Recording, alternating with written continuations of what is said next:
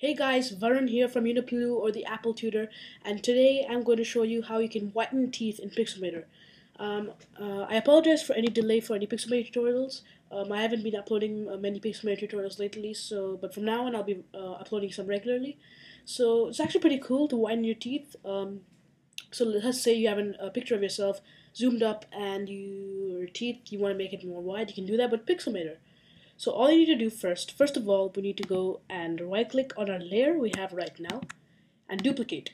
With that duplicate layer, we go and there's two ways of doing this actually. We need to select the teeth around here. So we can either use the polygon lasso tool or the magic wand tool. Now, for the sake of this tutorial, I want I just want to do it a bit more faster and easier. And to do that, we just need to use it, uh, the magic wand tool. With the magic wand tool, I can select um, almost all of the teeth around here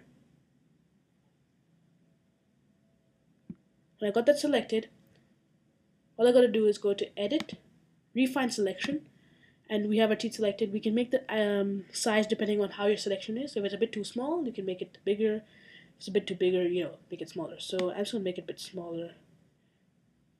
Or maybe, yeah. I think I'll leave it there. You can increase the feather and the smoothness. You can. That's up to you. With that, we just go and click on Edit, Inverse. So we have the background selected as well and from that uh, the background is over there and we had the this part selected so now we can just cut it so that the background will disappear.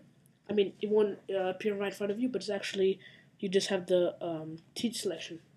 Now what we need to do is command U to get our hue and saturation and just put our saturation a bit low.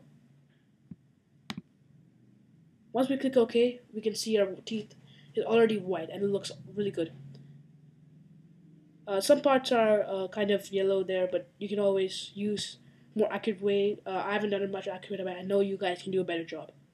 Now what we need to do is right click and duplicate.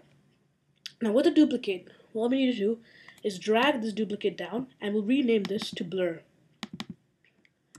because we want to add a blur effect to this. Now we click there and go to filter, we go to blur, we go to Gaussian.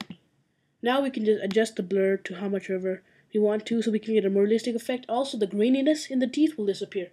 We click OK, and this uh, part's really up to you.